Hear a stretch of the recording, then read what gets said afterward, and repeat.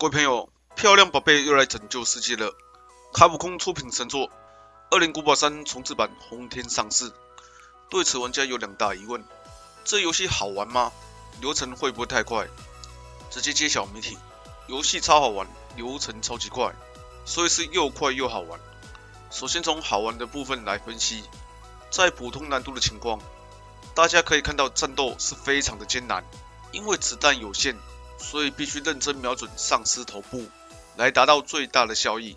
而敌人摇摇晃晃，非常难瞄准，稍微迟疑一下，马上就被咬了。因此玩家得步步为营，保持高度警戒，来提早发现敌人，才能在安全的距离精准射击。那种走走停停、危机四伏的感觉，刺激感真的爆表啊！而本作的强敌追击者，在资源充足的情况下，是不用怕他的。回复剂带着，摇一牙闪过去，基本没什么威胁。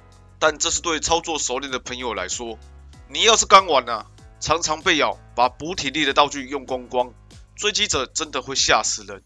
在狭窄的环境要闪过它非常困难，只要失手就是大损伤，立刻读取重来。而且被追着跑的话，就很难与丧尸保持安全距离，走位没走好，保证被压制到挂。因为有这个大魔头在。手上没有两三个恢复剂就无法安心，会着急地四处找补给，这种精神上的恐惧也是非常吓人的。再来讲头目战，《恶灵古堡三重置版》非常硬派，以前打王就是调查环境，找到提示，利用现场的机关，可以来个节约打法。这次是直接考验你的弹药管理能力，啊，平时乱开枪，打王就流眼泪。头目战现场提供的资源有够少。想好好造成伤害，弹药都得自己带。如此设定，又更加强化游戏的难度。明明身上有逆天武器可以轻松秒怪，但为了头目战，还是得用烂装备撑过去。那种矛盾与折磨，又为游戏添加好几层的恐惧。二零三重置版好玩是毋庸置疑，那流程好快又是怎么回事呢？各位朋友，这系列一直有个问题，那就是用解谜来拖台前。东边的门要用西边的钥匙来开，而想拿钥匙，必须收集三种宝石、四种图腾、一堆莫名其妙的鸟道具。把这些耍笨设定都拿掉的话，游戏可能连一小时都不到。就像 RPG 少了练功，其实内容面的东西是非常少的。而二零三重置版这次就非常勇敢，把收集道具的流程大幅简化，着重于环境探索与对抗敌人。所以说，它的流程虽然短。但内容密度却非常的高，与追击者的对抗精彩又刺激，每分每秒都是极具张力的演出，给玩家的满足感是非常大的。再来还有个问题，破关之所以非常快，那是因为很多人把失误的时间省略了。这游戏正常来说，开局绝对是迷迷茫茫，自己是谁？这里是哪？要去哪里？完全战恶金刚，摸不着头脑。得在探索中慢慢地把情况搞明白了，才越玩越顺畅。而很多人玩《二零古堡三重置版》是照着攻略在跑的，直接抄答案写考卷，然后说这题目太简单，三分钟就可以交了。这样其实很没道理，事物也是游戏的一部分啊，都跳过，当然觉得流程很短。所以本人故意不看攻略，从普通开局，就是要抓取最真实的体验，在一无所知的情况下。小心翼翼管理道具，踏实前进。这游戏四个小时以上是跑不掉的。咦，四个小时还是很快啊！此时就要提到元祖二零系列的精髓——无敌快跑，冲冲冲了。前面几轮其实都只是在热身，去摸透敌人的配置，搞明白关键道具存放的地方，然后规划出最省时间的流程，测试自己能过多快。而探索过程越省略。身上的资源也越少，危险随之直线飙升。如何找到速度与难度之间的平衡，可以说是对智慧与勇气的大考验。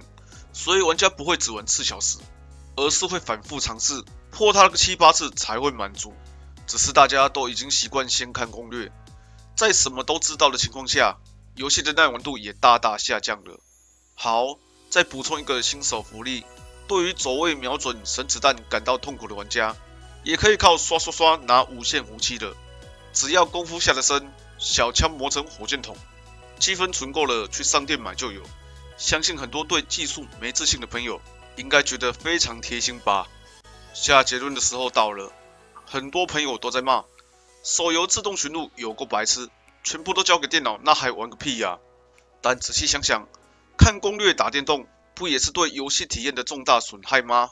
照着别人的步骤走，没有自己的思考与判断，那玩家跟自动寻路也没什么差别。真的奉劝大家，第一轮的时候不要上网查资料，大胆地去面对这个未知的世界，全部都靠自己解过一遍后，相信你对《恶灵古堡三》重置版会有更深的体会。所以说，《恶灵古堡三》好不好玩？好玩呢，只是一七九零真的太贵了。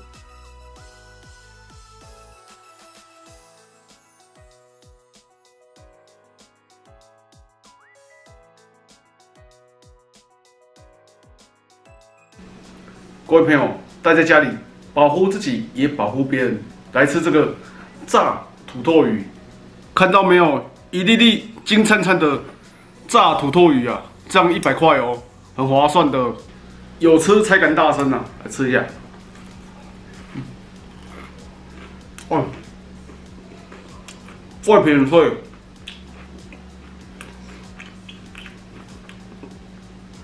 里面很嫩呐。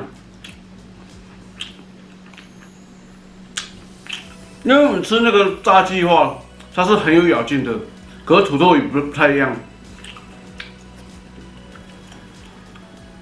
它是鲜，那个嫩啊，那鱼的香截然不同，所以吃这个东西，它有那个炸的粗犷。还有鱼的那个优雅，猛然撞在在一起，嘣啊，美味。